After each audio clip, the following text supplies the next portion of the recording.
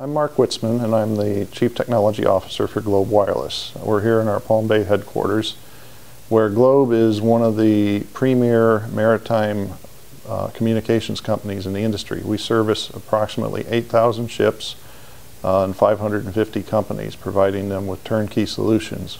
This includes satellite airtime, IT solutions, and, uh, and service. Globe is very much like a utility. Um, as long as there's uh, worldwide commerce at sea, uh, there's going to be a need for communications. And the communication need is really expanding.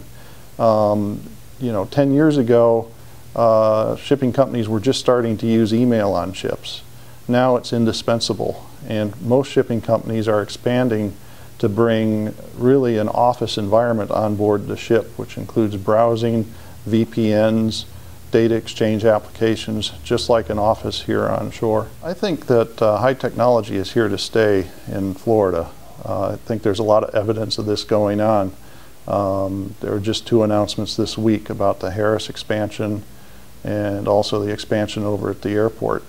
Uh, but it's not just the big companies that make a difference. It's the small companies like Globe as well. Um, I've worked for a number of big companies, including Bell South, and I can tell you that there's uh, different challenges and different rewards. And uh, the small companies oftentimes uh, come up with a lot of innovations and a lot of rewarding careers.